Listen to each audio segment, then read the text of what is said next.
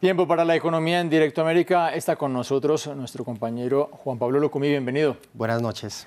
Vamos a comenzar hablando de las previsiones económicas del mejor panorama que entrega para la región el Banco Interamericano de Desarrollo. Y según el economista jefe de esta entidad, eh, la región ya superó los estragos de la pandemia de COVID-19 y vivió un crecimiento económico del 2,1% en 2023 comparado con 2022, una cifra que duplicó las estimaciones que había hecho el propio banco y con México y Brasil a la cabeza. Un crecimiento que además se debe en gran parte a la expansión de las economías y pues también impulsado por el aumento de los precios de las materias primas. Escuchemos.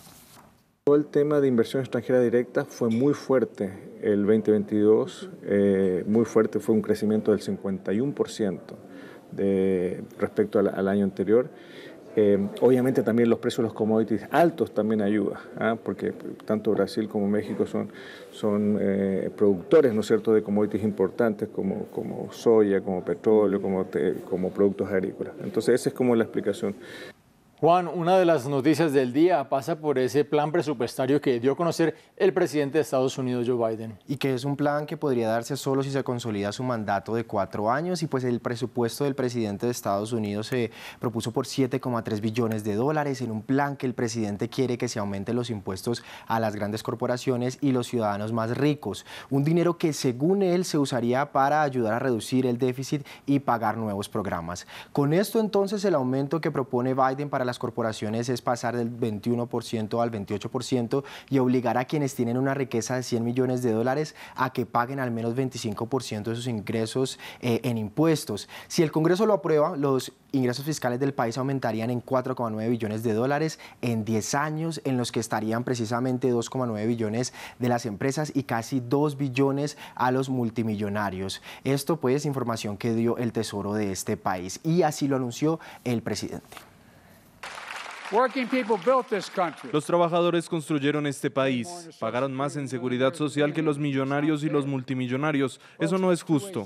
Amigos, tenemos dos caminos por recorrer, la seguridad social y Medicare. Los republicanos recortarán la seguridad social y Medicare para dar más recortes de impuestos para los ricos. Incluso esta mañana Donald Trump dijo que los recortes a la seguridad social y Medicare están nuevamente sobre la mesa. Postura firme de Joe Biden sobre esa posibilidad de recortes, está en contra de ellos, pero ¿qué ha dicho Donald Trump? Una postura que además sostiene desde el supermartes, pero el expresidente republicano ha dicho que se le podría dar un mejor manejo al dinero de instituciones como Medicare y que bajo su gobierno se desarrollaría un recorte general al gasto, pero los demócratas han señalado a Trump por hacer recortes de impuestos, lo que pues hizo en su momento ampliar el déficit del país. Vamos a escuchar precisamente la entrevista a la que se refería Joe Biden, en la que Donald Trump habló de los posibles recortes y también Joe Biden diciendo que en su administración esto no podría pasar. En primer lugar, hay mucho que se puede hacer en términos de derechos, en términos de recortes y también en términos del robo y la mala gestión de los derechos. Hay una tremenda mala gestión de los derechos, hay una enorme cantidad de cosas y un número de cosas que se pueden hacer.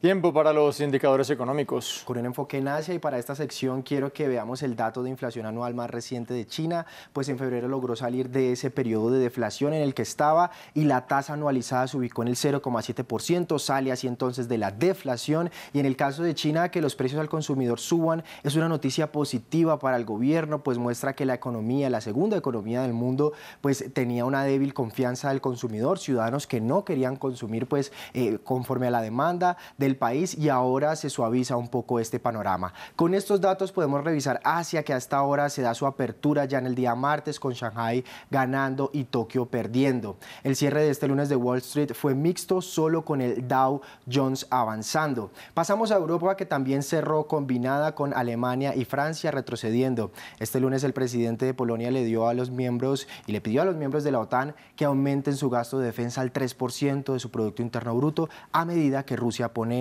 su economía a disposición de la guerra. Finalmente cerramos en América Latina con las caídas de Brasil y Argentina, esta última acercándose al 4% de pérdidas. México que avanzó registró un marginal 0,26% de ganancias, pero con esto rompe tres jornadas consecutivas de pérdidas y su principal indicador superó los 55 mil puntos. Hay un buen dato para este país.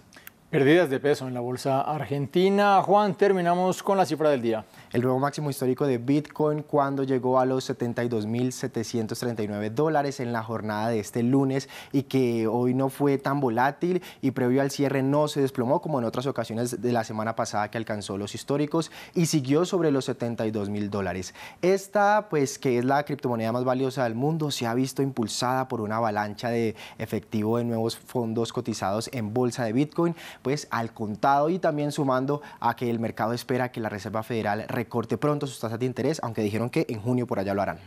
Esta película ya me la vi con Bitcoin rompiendo récords, luego pasa que vuelven a caer. Juan Pablo Lucumí, muchas gracias. Mañana estaremos con mucho más, Juan.